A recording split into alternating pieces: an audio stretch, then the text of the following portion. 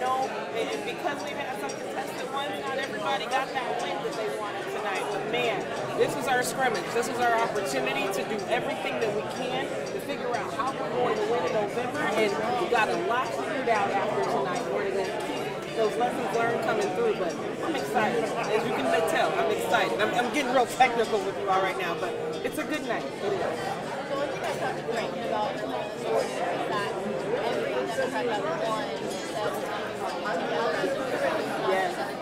Yeah, did he, did he use the term crew?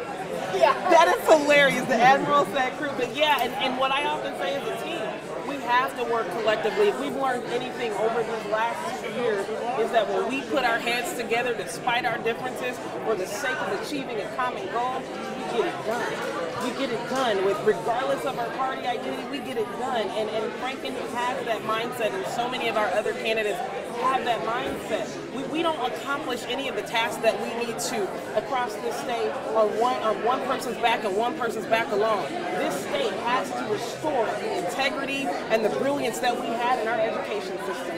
We have the ability to do that. We were once number one, and under this current governor, we've gone down to 19, 20, 21, and we know as Iowans that's not we belong. Now, mind you, I can't do that by myself as governor. I'm going to need each and every one of these candidates and these volunteers who are committed to make sure that we have collective change across the board so that Iowans are waking up proud to be an Iowan and that they're not interested in leaving. They're interested in staying because they belong.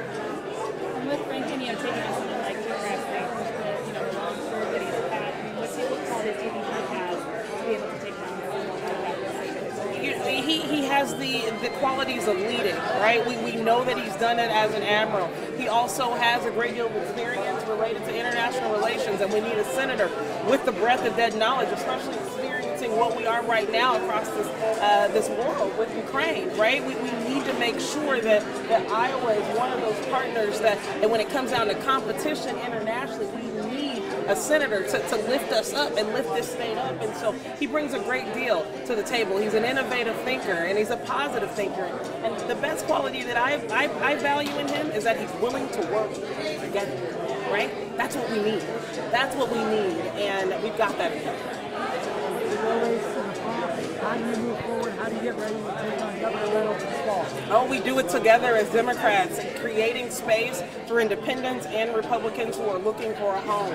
I believe in this state, and I believe in this state, and not, not just because of all of the dreams and the ambitions that we have as Iowans, but I believe in this state because of where we've been, where we've been collectively. And so that growth and that opportunity exists. I want to make sure that we're number one in education again. We need to build 50,000 workforce units. Right now, today, I want to get to building so people can live, work, and play in their communities. We've got to increase wages in this state. We also have to make sure that, that, that Iowans are safe across the board. And so there's a lot of work that we need to do. We have 700 waterways that are contaminated. We've got to get them clean. We've got our farmers stuck between a rock and a hard place doing their darndest to, to, to grow and to, to raise livestock. They, they deserve that opportunity to get paid the work, right? So there's so many opportunities that the state has. We need leadership with the willingness to not only identify the challenges, but do something about it. And these, this is that moment. This is that moment.